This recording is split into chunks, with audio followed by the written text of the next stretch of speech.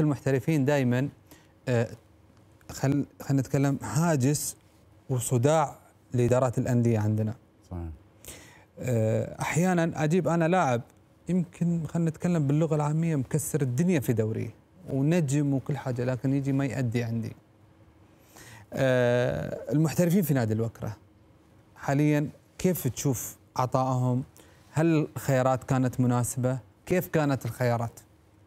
أول شيء إحنا طريقتنا في آه، أنا أتكلم بس عن آه، طريقة العمل في نادي الوكره لأن أنا يعني ما أعرف آه، الأندية الثانية كيف تشتغل لأن كلامك صحيح مرات تجيب لا لا أنا أتكلم. عنكم أنتم في نادي لا لا الوكره انها تطرقت إن مرات تجيب لك لاعب كسر الدنيا في الدوري الفلاني فلما تجيبه هنا ما يفرق معك أو ما يأدي.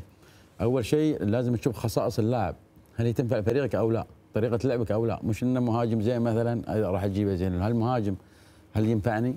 طريقه لعبة أو لا. إحنا في نادي الوكرة بصراحة نجيب المحترف بطريقة صحية. 100% المدرب يشوف اللاعب أنا أشوف اللاعب نعرض عنايه في الخاطر. والكل إذا اتفقنا على لاعب نجيبه بهالطريقة. ونتابع اللاعب فترة طويلة ترى.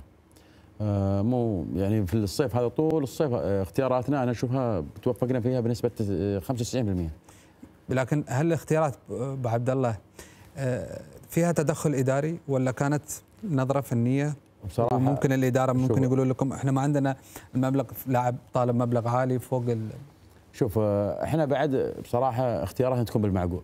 يعني ما راح أفاوض لاعب أنا عارف إن النادي ما عنده قدرة إنه يجيبه مع إن الاتحاد ما يقصر بالدعم بهالأشياء يعني.